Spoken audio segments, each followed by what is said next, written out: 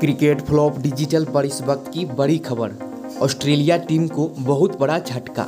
One day world cup 2023 semifinal में पहुँचने से एक जीत दूर। ऑस्ट्रेलियाई टीम को अफ़गानिस्तान के खिलाफ अपने अगले मुकाबले से पहले बड़ा झटका लगा है। टीम के स्टार खिलाड़ी स्टीव स्मिथ वर्टिगो से पीड़ित हैं। उन्होंने इस मुकाबले से पहले खुलासा किया है कि उन्हें बार बार चक्कर आ रहे हैं, जिससे वह परेशान हैं।